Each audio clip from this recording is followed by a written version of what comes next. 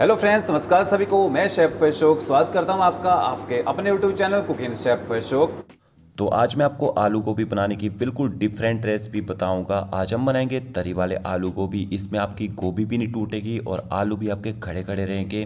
तो चलिए रेसिपी शुरू करते हैं। देखिए, यहाँ पे मैंने गोभी ली है और चार मैंने आलू लिए मीडियम साइज़ के, जिनको छील के मैंने पानी में रखा है, ताकि आलू का कलर डार्क ना हो जाए। सबसे पहले गोभी की कटिंग करनी है। गोभी को ना आपने बड़े बड़े पीसीज में काटना है, छोटे पीसीज नहीं करने इसके। छोटे पीसीज करेंगे तो ग्रेवी के अंदर डालते हुए गल जाते हैं। ये देखिए, और थोड़े डंठल के साथ काटना है। थोड़े जो फूल होते हैं ना, उसका डंठल भी रखना है साथ में आपने। और ये देखिए, गोभी के अंदर जो हार्ड पार्ट होता है ना, इसका भी यूज़ करेंगे, इसको भी सब्ज़ी में डालेंगे, इसको आपने फेंकना नहीं है। और सारे फूल को अलग कर लीजिए। अलग करने के बाद देखिए, ऊपर डंठल होता है ना, इसमें आपने कट लगाना है। ऐसे कट लगा देंगे तो ये जल्दी पकेंगे, नहीं तो ये पकते नहीं और फूल जल्दी गल जाते हैं। तो इस तरह से कट लगा लीजिए। और ये जो देखिए, डंठल बचा था ना अलग से, इसको आपने ऐसे काट लेना है, इसको हम आलूओं के साथ पकाएँगे। अब आलू को कैसे काटना है? आलू को अपने बेजिस में काटना है। बेजिस देखिए कैसे काटते हैं। वन बाई थ्री कर दीजिए। अपने आप ही बेजिस बन जाते हैं। ये देखिए इस तरह से।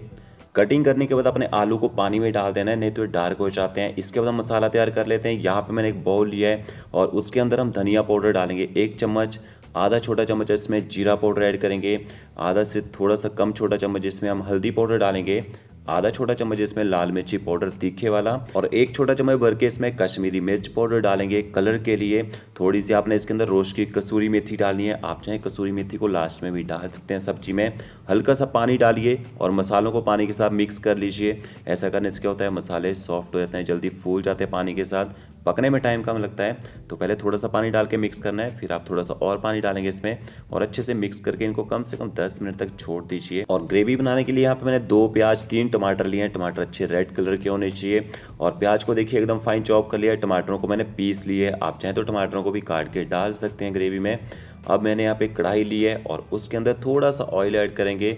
लगभग मैंने एक बड़ा चम्मच यहाँ पे ऑयल ऐड किया है। तो कम से कम ऑयल का यूज़ करेंगे सब्ज़ी को बनाने के लिए और इसके अंदर हम गोभी ऐड कर देंगे। तो गोभी को आपने थोड़ा सा ऑयल डाल के शैलो फ्राई करना है। गोभी को थोड़ी देर शैलो फ्राई करने से क्या होता है? जब हम गोभी को ग्रेवी के अंदर डालते हैं ना तो गोभी टूटती नहीं है। तो ये देखिए, थोड़ा सा साथ में नमक भी ऐड कर देते हैं ताकि गोभी के अंदर तक नमक का टेस्ट चल जाए। थोड़ा सा हल्दी पाउडर डाला है, बिल्कुल थोड़ा सा। इससे ना गोभी में एक सुनहरा सा कलर आ जाएगा। तो और कंटिन्यू आपने देखिए यहाँ पे बल्टा चलाते रहना है। और एक बात, आपने गोभी को डीप फ्राई नहीं करना है। डीप फ्राई करने से गोभी ज़्यादा गल जाती है और ग्रेवी में डालते हो टूट जाती है। हल्के से पानी के छींटे मार लेते हैं ताकि गोभी थोड़ी सॉफ्ट हो जाए। तो आपको इसको शैलो फ्राई करने के लिए तीन से चार मिनट का टाइम लगेगा। और ये देखिए, गोभी का जो कलर यहाँ पे चेंज हो चुका है। तो इस तरह से आपने गोभी को पहले शैलो फ्राई कर लेना है। आप डायरेक्ट भी डाल सकते हैं ग्रेवी के अंदर बट उससे ना वो टेस्ट नहीं आता है जो शैलो फ्राई करने से गोभी के अंदर टेस्ट निकलता है। तो गोभी हमारी शैलो फ्राई हो चुकी है। अब हम ग्रेवी बनाएँगे। ग्रेवी बनाने के लिए उसी कढ़ाई के अंदर ऑयल ऐड करेंगे। यहाँ पे मैंने दो बड़े चम्मच ऑयल ऐड किया है और ऑयल आपका जैसे थोड़ा सा हीट हो जाए तो आपने इसके अंदर होल स्पाइसी डालने थोड़े से। एक तेज पत्ता ऐड कर दीजिए, एक दालचीनी, दो छोटी इलायची, दो इसमें लौंग डाल दीजिए और साथ में आपने साबुत जीरा डाल देना है, एक छोटा चम्मच। जीरा जैसे आपका थोड़ा तिड़कना शुरू हो जाए, आपने इसके अंदर बारीक कटा हुआ लहसुन डाल देना है। तो दो छोटे चम्मच मैंने बारीक कटा हुआ लहसुन ऐड कर दिया है। आप चाहे लहसुन को कूट के भी डाल सकते हैं यहाँ पे। लहसुन को थोड़ी देर पका लेते हैं, जैसे कलर आना शुरू हो जाए, इसके अंदर प्याज भी ऐड कर देंगे। और प्याज डालने के बाद आपने गैस की फ्लेम मीडियम टू हाई रखनी है। और मीडियम टू हाई फ्लेम में अपने प्याज को आराम से पकाना है। ज़्यादा हाई फ्लेम में नहीं पकाना है। आराम से जब प्याज को पकाते हैं तो प्याज गल जाता है। तो जब भी हम ग्रेवी वाले को डिश बनाते हैं, प्याज को आप मीडियम टू हाई फ्लेम में कुक कीजिए। देखिए, प्याज पक चुका है। इसके बाद आपने इसमें अदरक लहसुन का पेस्ट ऐड करना है, एक छोटा चम्मच। और अदरक लहसुन की पेस्ट को आपने मीडियम टू लो फ्लेम में अच्छे से पका लेना है। जब तक इसकी जो स्मेल होती है, इसका फ्लेवर होता है ना, वो ख़त्म ना हो जाए।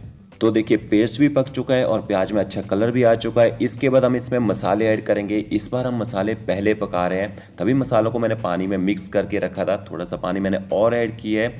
अब आपने गैस की फ्लेम मीडियम रखनी है और मसालों को आराम से पका लेना है। आराम से जब तक आपके मसाले पकेंगे ना, प्याज आपका पूरी तरह से गल जाएगा ग्रेवी के अंदर। और ये देखिए, मसालों ने यहाँ पे ऑयल छोड़ना शुरू कर दिया है। फिर हम इसमें टोमेटो प्यूरी भी ऐड कर देंगे, जो टमाटर हमने पीस के रखे थे और साथ में नमक भी ऐड कर देते हैं। और इसके बाद आपने टमाटरों को तब तक पकाना है जब तक टमाटर अच्छी तरह से पकने के बाद ऑयल ना छोड़ दें। तो आपने अब यहाँ पे गैस की फ्लेम मीडियम टू हाई रखनी है और जल्दी से टमाटरों को भी पका लेना है। और ये देखिए ये हमारा मसाला बन के तैयार हो चुका है। तो इस तरह से आपने आलू गोभी के लिए मसाला बनाना है पहले। फिर हम इसमें आलू पकाएँगे। तो आलू को देखिए, मैंने पानी में डाल के रखा था ताकि आलू डार्क ना हो। तो आलू को आपने पूरा पानी निकाल देना है और आलू को आपने पहले मसाले के अंदर डाल देना है यहाँ पे। अभी आपने कम से कम दो मिनट तक आलू की बुनाई करनी है मसाले के साथ। और जो गोभी के हमने डंठल रखे थे ना, वो भी साथ में ही डाल दिए और गोभी के फूल के नीचे जो डंठल होते हैं, आप उनका यूज़ भी कर सकते हैं सब्ज़ी में। उनको भी आपने फेंकना नहीं होता है। तो ये देखिए, यहाँ पे मैंने कम से कम दो मिनट तक आलूओं की मसाले के साथ भुनाई कर ली है। फिर हम इसके अंदर पानी ऐड करेंगे, क्योंकि आलू को आप मसाले के साथ भूनते भूनते पकाएँगे तो आलू नहीं गलने वाले हैं। तो इसके साथ में आपने पानी ऐड कर देना है। तो यहाँ पे मैंने एक बोल देखिए, एक सूप बोल भर के पानी ऐड कर दिया इसमें। और पानी डालने के बाद अच्छे से मिक्स कर लेते हैं। अब ग्रेवी के अंदर आलू जो वो जल्दी पकेंगे।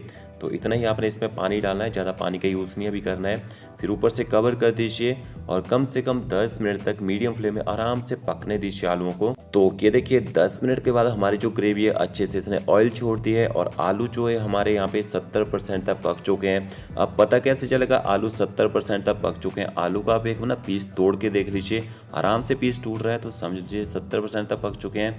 फिर हम इसमें दही ऐड करेंगे। दही हमारे मसालों के फ्लेवर को बैलेंस करेगा और जो नॉन वेज ग्रेवी में टेस्ट आता ना, वैसा ही आपकी ग्रेवी में टेस्ट आएगा यहाँ पे। दही को भी थोड़ी देर पका लीजिए। फिर हम इसके अंदर गोभी भी ऐड कर देंगे, जो शैलो फ्राई की गोभी हमने रखी थी वहाँ पे। और गोभी को भी मसालों के साथ कम से कम दो मिनट तक आप भून लीजिए। गोभी आपकी टूटने वाली नहीं है। इसके बाद आप गोभी को चाहे 20 मिनट तक भी पकाएँगे ना, तभी आपकी गोभी टूटेगी नहीं। शैलो फ्राई करने का यही एक फ़ायदा होता है। और गोभी को कम से कम दो मिनट तक भूनने के बाद आपने ऊपर से कवर कर देना है और ऊपर से कवर करने के बाद कम से कम दो मिनट तक मीडियम फ्लेम में आराम से पकने देना है। तो ये देखिए, दो मिनट के बाद आपकी जो गोभी है, अच्छे से मसालों को एब्जॉर्व कर लेगी और हमारा जो मसाला है, फिर से ड्राई हो चुका है यहाँ पे। इसके बाद हम इसमें पानी ऐड करेंगे। तो आपने इसके बाद जब पानी डालना है तो गर्म पानी का यूज़ करना है, ठंडा पानी नहीं डालना है सब्ज़ी में। अगर आप ठंडा पानी डालेंगे, उससे क्या होगा, आपकी गोभी ना टूट जाएगी। तो गर्म पानी डालने से कुकिंग प्रोसेस चालू रहेगा।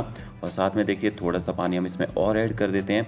यहाँ पे आप जितना पानी यूज़ करना चाहते हैं आलू गोभी में, उतना पानी यूज़ कर सकते हैं। इससे भी आप पतली ग्रेवी खाना पसंद करते हैं तो थोड़ा सा पानी आप और ऐड कर सकते हैं। इसके बाद आपने सब्ज़ी को ऊपर से कवर कर देना है और गैस की फ्लेम आपने मीडियम कर देनी है और तब तक पकाना है जब तक आपके आलू गोभी बिल्कुल सॉफ्ट ना हो जाए खाने के लिए।